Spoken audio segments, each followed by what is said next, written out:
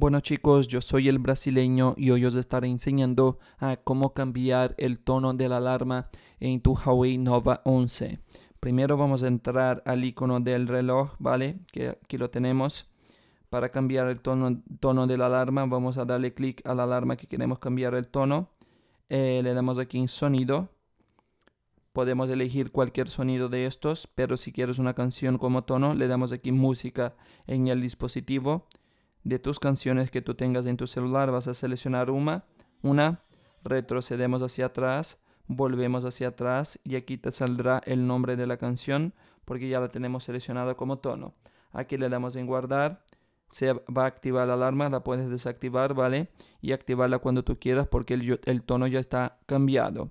Pues ya estaría chicos, si te ayudé no olvides suscribirte, poner tu me gusta al video y dejar tu comentario.